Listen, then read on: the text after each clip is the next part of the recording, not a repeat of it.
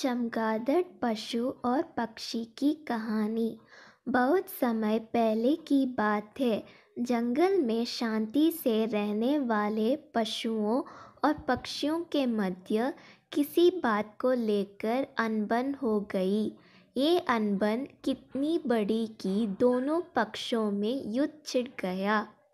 पशुओं की लंबी चौड़ी सेना थी जिसमें राजा शेर के अतिरिक्त लोमड़ी भेड़िया भालू जिराफ, सियार, खरगोश जैसे कई छोटे बड़े जानवर सम्मिलित थे। वहीं आकाश में विचरण करने वाले पक्षियों की सेना भी कुछ कम नहीं थी। उसमें चील, गीद, कौवा, कबूतर, मैना, तोता साहित कई पक्षी सम्मिलित थे।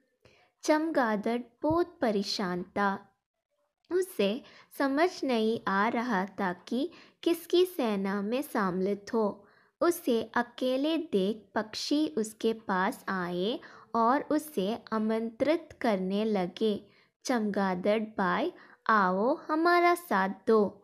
मैं तुम्हारा साथ कैसे आ सकता हूँ? देखो मुझे पंख हटा दिया जाए तो मैं तो हुबहू चूहे के समान दिखता हूँ। मैं तो पशु हूँ, मुझे क्षमा कर दो। चमगादड़ ने उत्तर दिया। चमगादड़ का उत्तर सुन पक्षी चले गए। पक्षियों के जाने के बाद पशुओं की मंडली उसके पास आई और बोली, अरे भाई, यहाँ अकेले क्यों बैठे हो? आहो हमारे सेने में आ जाओ। तुम्हें मेरे पंख दिखाई नहीं देते?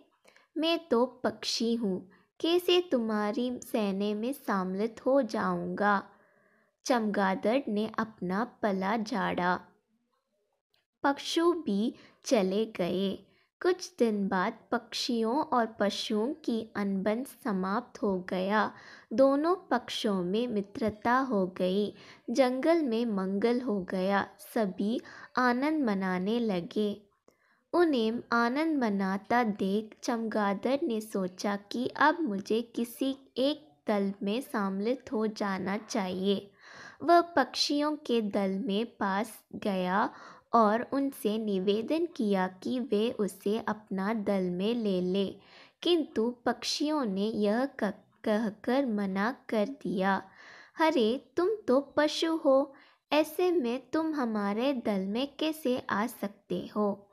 मुँह लटकाकर चमगादड़ पशुओं के पास पहुँचा और उनसे भी यही निवेदन किया।